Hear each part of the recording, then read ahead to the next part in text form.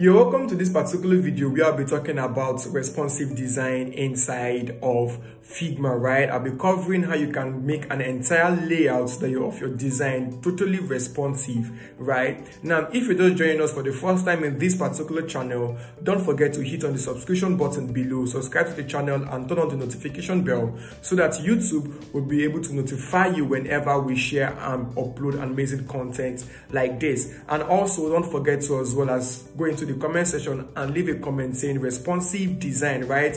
And also like the video. Will, this will enable us for YouTube to refer this video to more people that are looking for responsive design inside of Figma. That being said, let's get started with this particular video. Now, the first thing I want to explain to you guys when it comes to responsive design in Figma is understanding the concept of what breakpoint, right? So what are breakpoints instead of Figma? Now, instead of Figma totally, right, in, in, in a total sense. Now, breakpoints are the areas in which your design actually change view in order to what accommodate the screen size, right? Now, totally, you will be working with um about three types of breakpoints. The first one would be your your your desktop, a breakpoint which I love to call desktop. So I'm going to type in 1004 1440 here to be my first breakpoint. But at this particular point, I'm going to name this word desktop, right? So let's name this particular frame desktop, right? So I'm going to create another breakpoint again. I'm going to create another breakpoint, and this particular breakpoint is going to serve for as what tablet. So if we go under tablet here, we can select several breakpoints that we want it to serve for tablet, like this particular one, right? So this particular breakpoint now can serve for tablet. Let me reduce the height a bit right? Or i could just make it 768 pixels for tablet right? So i'm going to call this one tablet tablets. So i'm using 768 there. Then we need another breakpoint that is going to serve for our mobile phone right? So um, most mobile phones are actually like you could see as so many mobile phone here are actually from what? I um um 375 but in this case let me use iphone pro max which is about 728 right? So this will serve for as our mobile phone right? So at this particular point in time let's call this mobile.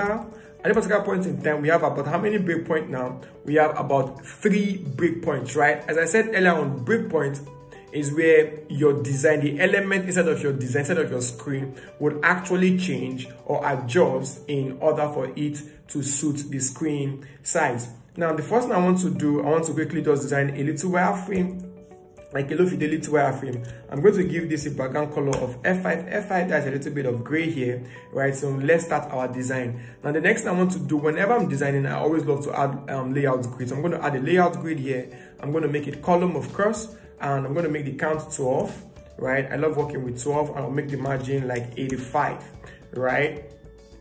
Now once I have this, I'm going to draw a simple rectangular, a simple rectangle here and this rectangle is going to serve as what? As our navigation. Let me give it a height of about 70 px thereabout and i'm going to give it a color of full white and i could just call the name over here. I could just call it what nav bar now, whenever you want to design responsive design again, apart from you understanding breakpoints, the next thing you want to understand is full understanding of what auto layout and what constraint. Well, in this particular video, I'll not be using auto layout, I'll be using more of constraint to ensure, to ensure that as I'm even resizing my frame, it is resizing according to the width, right? So I'm going to click here now. By the time I drag this a bit, you could see that the navbar is not actually resizing or scaling alongside that particular screen size. Once it is overstretched, it's not scaling along, along that particular screen size. Now for me to solve this, I'm going to click here and I'm going to make this navbar constraint to be left and right. The moment I use left and right now and I go back to hit on my desktop screen, I will be able to make my navbar words resize evenly according to that particular screen size. So I'm going to say Ctrl Z to go back. So I'm going to draw another sidebar here to eat up about three columns and I'm going to stretch it to this particular size of thereabout, right? Let's increase the height of this thing okay the height is okay. 7 to 720 is okay. Um i'm going to make this white as well right? And um, um i'm going to leave it at this particular point. Three and i'm going to make sure that it's like about 50 thereabouts. Let's see. 23 1 2 3 1 2 3 all right this is about 50 the spacing is about 50 there. Um, i'm going to make it like that. So now if you, if we could see, it's taking about three columns, but by the time this is resized, right? By the time it is resized you could see that it is not adjusting and resizing or scaling according to that particular screen size right? The next i want to do is to also add it a constraint of what's left and right. So a constraint of left and right is going to solve that particular problem for me and by the time i stretch it now you could see that it is actually adjusting based on that particular screen size. Now once i've done that the next thing i'm going to do is to draw another box here that is going to act as C, let me, let's give it the height of let's say 150. This other box now is going to act as if it's another element, right? So this is like those several card elements, but in this case, I just want to make sure that they are just like uh, um, low fidelity wireframe, right? So we're not going to create like an entire design from scratch. Now, once I have this again as well, and um, as you can see if i click here and i try to resize it you could see that that is also not resizing and scaling up as usual. So control z to go back to my default shape i'm going to add the same effect again left and right. So i have the same constraint for all of them left and right to ensure that they are all resizing the same way. So let's take away this and let's test this now. You could see they are all resizing the same way right? So whenever you want to create responsive design the first thing you want to ensure uh, you do is that all your design are actually scalable and responsive or can adapt with your screen width when it is being adjusted right? So you could see that with these three elements this serving as a navbar this serving as a sidebar and this also serving as probably a card element inside this particular design right? So let's go ahead to duplicate this over and over again. So i'm going to click this holding on my alternate key. I'm going to duplicate it like this duplicate it again like this and I'm going to select the three of them like this and I'm going to hold down my alternate key sorry I'm going to hold down my alternate key and also try to duplicate them one two. And also try to duplicate it one more time. And this time around I can say one two right? So let's assume that this one stops exactly here. All right.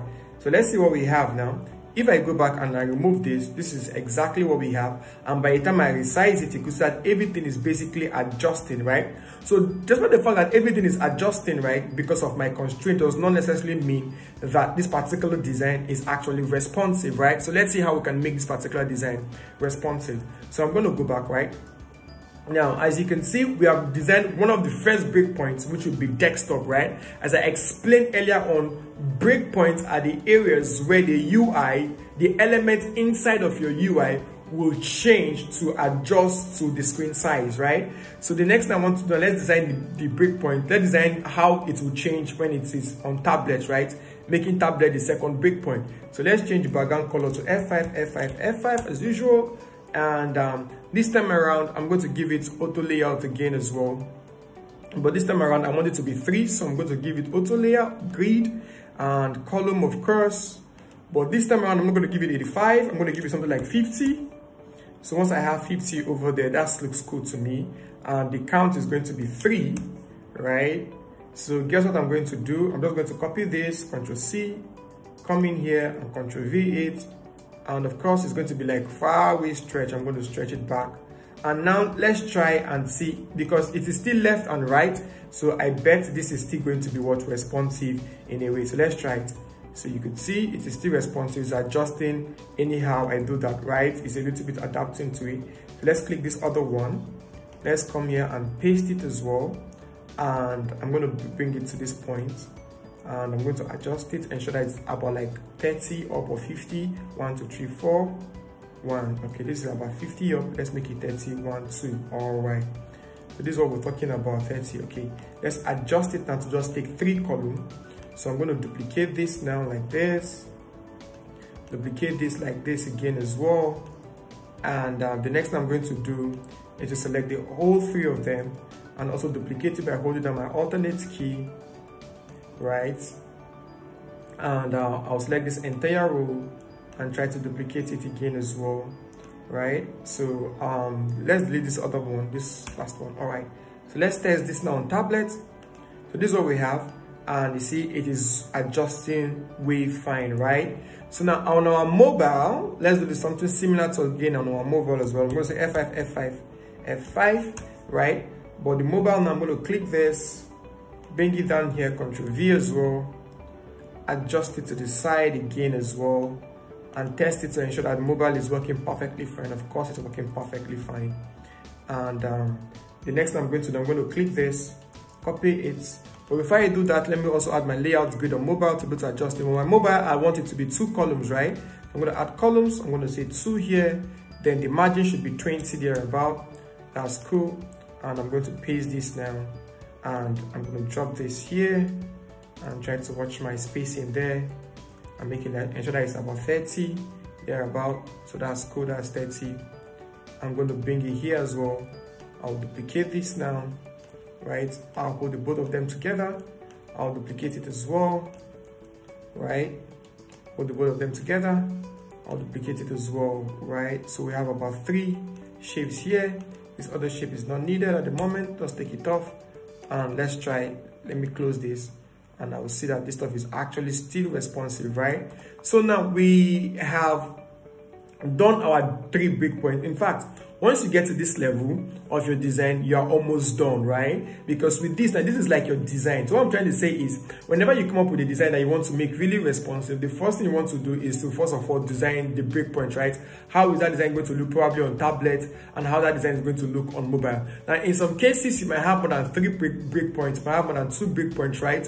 You might have as many breakpoints as you can have as long as that particular design is definitely responsive, right? So that being said, next thing I want to do right now the next I want to do right now is to introduce two different plugins that we can actually use to achieve our responsive design. Now, if I go over here, the first plugin I want to talk about is the responsive plugin. So the name of this plugin is called Responsive.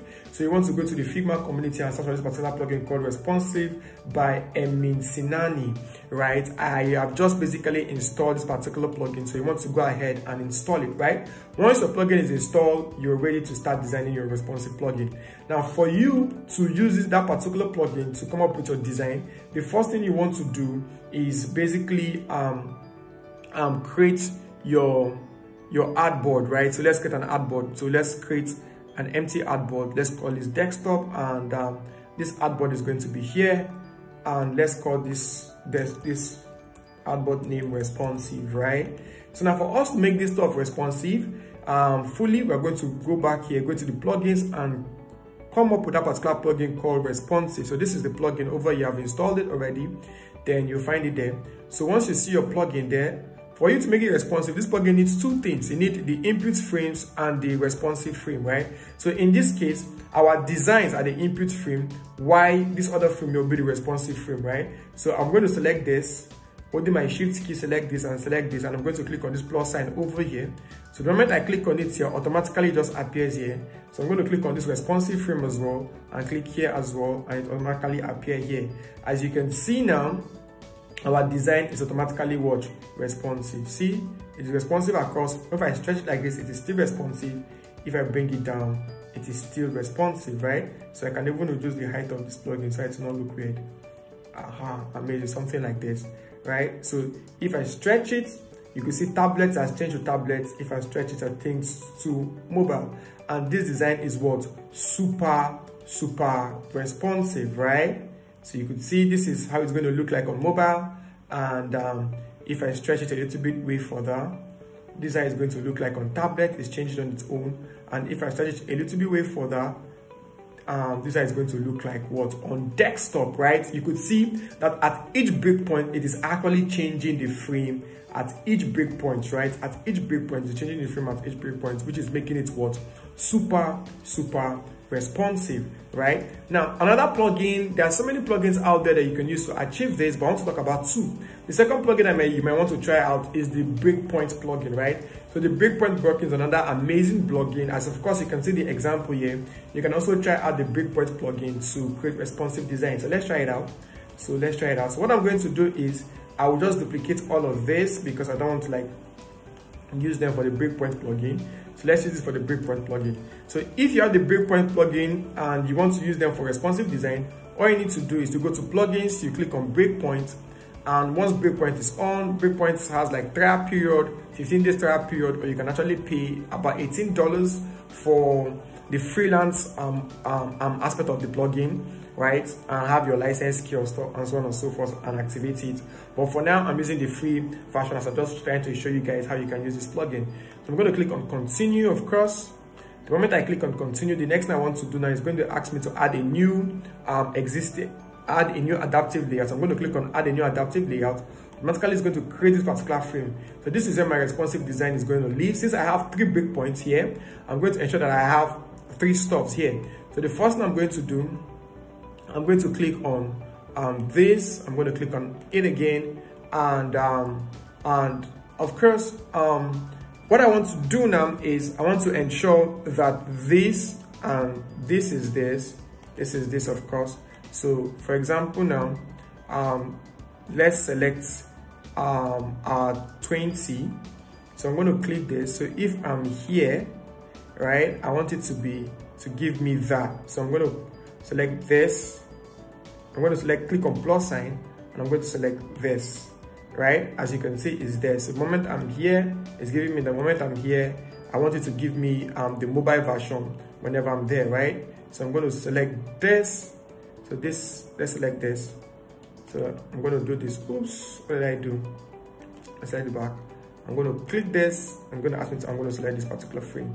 So moment I'm here, it's going to give me that. Moment I'm here, it's going to give me something else. I'm going to click on this particular frame again. I'm going to select this right? So moment I'm here as well is going to give me that as well. So you could see I've fixed all my plugins and um, that's way you use the break the breakpoint plugin. The moment you come down here again, since you're giving different responsive view, you can actually adjust it and you can see the way these things are actually adjusting based on the breakpoint, right? You can see the several breakpoints that I used there, right? So you can use any of this plugin and you can create responsive view of your design, right? So that is it about creating responsive design inside of Figma. Um, after making use of auto and constraints to ensure that your designs are actually adaptive and so on and so forth, then use either of this plugin, um, responsive or breakpoint to ensure that your design is actually responsive, right? Now, if you're watching this particular video and you want to take a course um, in UI UX design and you want to and you want to be a UX designer, right? I have an amazing online course I just created that if you get the course, I will be able to mentor you. I will be leaving the link uh, um, to join it inside the WhatsApp group, right? So this is an amazing course over here and it has a project brief um, UI design, I come up with I came up with a project brief on simple e-commerce application, and we did the, the entire UX of it. We did the empathy map, we did the user personas, we did the competitive analysis, we did the user stories, we did the user journey map, we did the site map, we did the user user flow and uh, uh, as well. And I went on to create the entire um, wireframe, the design up to case study level, right? In this particular course. And not just that as well. If you take this particular course, you'll be getting some things from me for free. Like one of the things that you'll be getting from me for free would definitely be me mentoring you one-on-one -on -one for free to ensure that you have like two case study in your portfolio to start your career as a UX designer. Not just that as well, you're also going to join a support WhatsApp group where in that particular group, we're having once in every two weeks live session,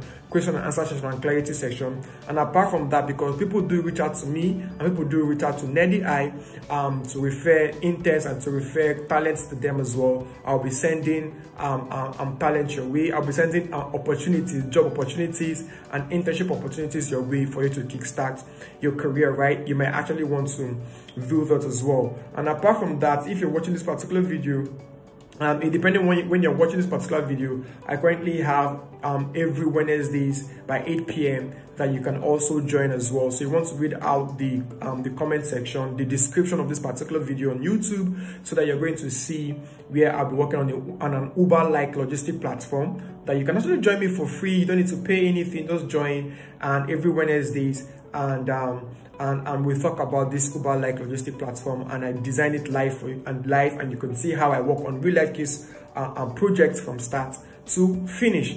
And of course, I thank you for watching this particular video. Don't forget to um, um, uh, um, like this particular video, subscribe to the YouTube channel and drop a comment. Don't leave this video without dropping a comment. Say something nice about this particular video you've just seen and as well as leave a positive review inside of the comment section. And I hope to see you in my subsequent videos.